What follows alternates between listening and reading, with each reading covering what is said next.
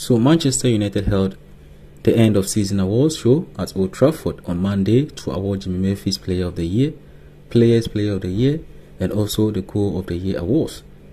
The event saw United players with their partners taking onto the red carpet for shots before taking their seats in the awards auditorium.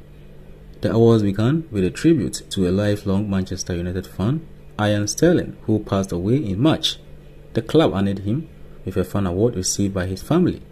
It continued by declaring the Women's Player of the Year, Alessia Russo, who had a stellar season playing up front in the women's team. To the men's, Antony's goal against Barcelona in the Europa League home leg won the goal of the season. Fans have voted the goal as the best of the season.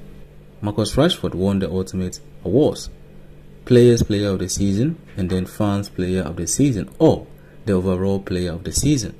Two major awards was received by Marcus on the night.